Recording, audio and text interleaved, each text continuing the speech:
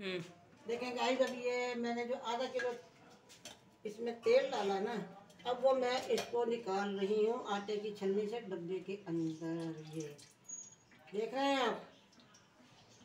आप कहेंगे कि पता नहीं इन्होंने कैसी बनाई है, और आप देखेगा बनाइएगा और ट्राई करके फिर मुझे बताना आपने। ठीक है?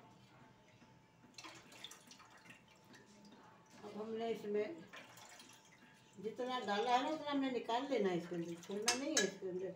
और ना टमाटर डाले, कोई चीज़ नहीं डाले। टमाटर जो है ना हर चीज़ कर देता खराब कर देता है। ठीक है ना? इसलिए आप भी ज़रा थोड़ा एहतियात करें टमाटरों से। खून के गुर्दे में पथरी भी करता है, दूसरे जम जाता है। जिगर ख़राब होता है, मेदर ख़राब होता है, लेकिन हम आजकल की जो नस्लें हैं, वो कहते हैं "ऐ टमाटर हो टमाटर हो, पहले टमाटर के बगैर हमने नहीं पकाना। ये ये गाय हमने निकाल लिया अब ये देखें, इसके अंदर जो है सिर्फ़ भूनने के लिए छोड़ा गया ये। ठीक है? देखिए गाइस, अब ये हो रहा है ना, अब आप देखिएगा ये हमने इसको भूनना है। ना प्याज भूनी, ना कोई चीज़ भूनी। दो मिनट के सिर्फ़ आप आधा घंटा टाइम दें, आप ये देखें। अब अब हमने क्या डालना है इसके अंदर? ये हमने पहले के रखा हुआ है लहसुन और अदरक। इसकी चाट दें और फिर देखें आप बड़े बड़े बबरची हार जाएँगे। इन वो वो तरकीबें बताएँगे आपको कि आप याद रखेंगे। और बनाइएगा ज़रूर। इतना मेहनत मैं आप लोगों के लिए कर रही हूँ।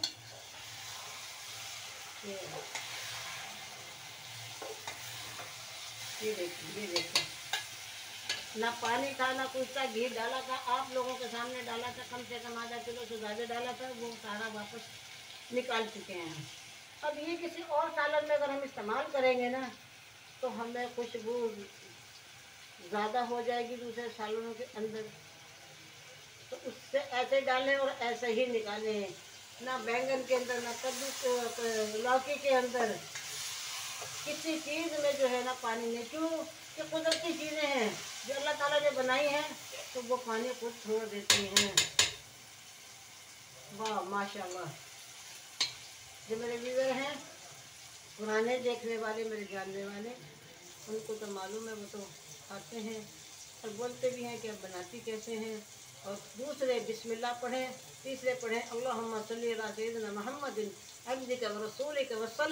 अलल मुमिनीना वल मुमिनात वल मुस्लिमीना वल मुस्लिमात बनाएँ देखें ना कहीं से दिखाए नाम दिखाएँ कहीं से कोई चीज़ लगी है धनिया ये नहीं है देख अब ये सिर्फ़ दूध है ना सिर्फ़ धनिया है ये आप बनाइएगा ना टमाटर डालिएगा ना कोई चीज़ क्योंकि टमाटर दाल का भी ज़्यादा ख़राब करती है सब्जियों का जायका भी ख़राब करती है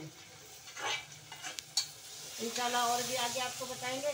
कल मैं इंशाल्लाह आपके लिए बनाऊँगी रायता ठीक?